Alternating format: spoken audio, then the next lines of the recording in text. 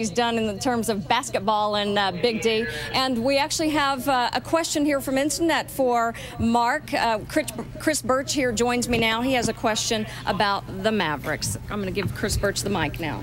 Hey, Marc, how are you? Hey, Chris, what's up? Uh, what we want to know down here is I think before you owned the team, you had Jamal Mashburn, Jimmy Jackson, Jason Kidd, right. the Triple J's, they called them. But they couldn't get along. They demanded to be traded, and they broke up eventually, and they right. never went anywhere. And we want to know, so does Dave Peach up in Boston. Did Toni Braxton break up that team? That was before my time. I have no Did idea. Did break up that team? I don't know, you know. I, am to stay Did out of that one. Are you going to answer me? Go. You. You. You. You. You. Hey, Doc, you. All right. Thank That's you. great. no. I'm coming. I'm got to come back down there. Here you go. That's great. All right. That's Chris Birch here yes. at Internet. All right, Chris.